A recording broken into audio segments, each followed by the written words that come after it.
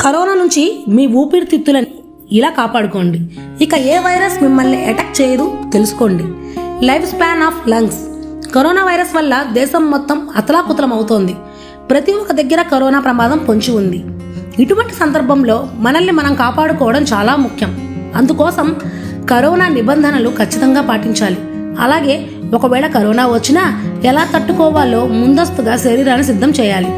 ముఖ్యంగా corona virus శరీరంలో శ్వాస వ్యవస్థపై బలంగా దెబ్బతీస్తుంది. దీంతో మనిషికి ఉన్న పల్లంగా ఆక్సిజన్ అవసరం అవుతుంది ఇలా జరగకుండా ఉండాలంటే ముందస్తుగా మన శరీరంలోని ఊపిరితిత్తులను బలంగా చేసుకోవాలి. ఏ వైరస్ వచ్చినా తట్టుకొని నిలబడేలా చూసుకోవాలి. అందుకోసం ప్రాణాయామం చక్కగా ఉపయోగపడుతుంది. ప్రతిరోజు ముప్పై నిమిషాల పాటు ప్రాణాయామం చేస్తే ఏ కరోనా మిమ్మల్ని ఏం చేయదు. ప్రాణాయామం అనగా శ్వాస తీసుకోవటం కుంపించటం వదలడం ఒక క్రమ పద్ధతిలో చేయడం. దీనివల్ల శరీరంలోని చెడు వాయువు బయటకు పోతుంది ప్రాణవాయువు శరీరంలోకి వస్తుంది.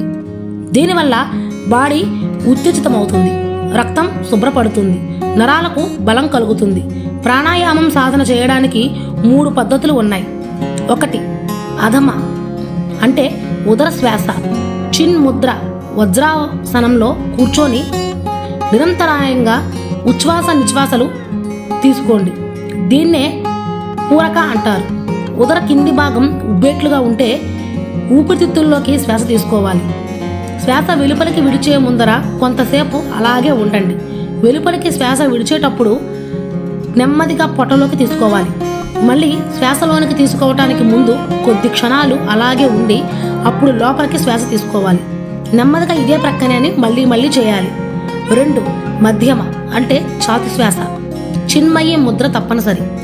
వజ్రాసనంలో కూర్చుని ఉచ్ఛ్వాస నిశ్వాసలు తీసుకోండి. ఈ పద్ధతిలో శ్వాస తీసుకునేటప్పుడు కేవలం ఛాతి మాత్రమే ఉపయోగించాలి. శ్వాసను ముక్కు రంధ్రాల గుండా వదలాలి. పొట్ట భాగం అసలు కదలకూడదు. మూడు అద్య స్కంద శ్వాస. అది ముద్ర వజ్రాసనంలో కూర్చొని శ్వాస తీస్తూ భుజాలు పైకి లేపండి. ఊపిరిని పైనున్న ఊపిరితిత్తుల్లోకి నింపండి.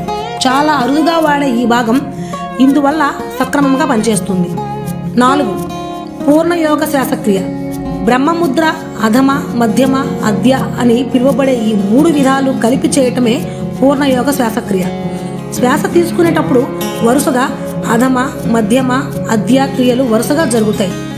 ఈ ప్రక్రియ వల్ల ఊపిరితిత్తులు పూర్తి సామర్థ్యంతో గాలిని తీసుకోగలుగుతాయి. క్రమబద్ధమైన బలమైన ఉచ్ఛ్వాస నిశ్వాసలు జీర్ణకోశాన్ని ఒత్తిడి చేసి సరైన జీర్ణక్రియ జరిగేలా చూస్తాయి. ఇలా చేయడం వల్ల రక్త ప్రసరణ కూడా మెరుగవుతుంది. మధ్య ఊపిరితిత్తులు కూడా వ్యాకోచం చెందుతాయి.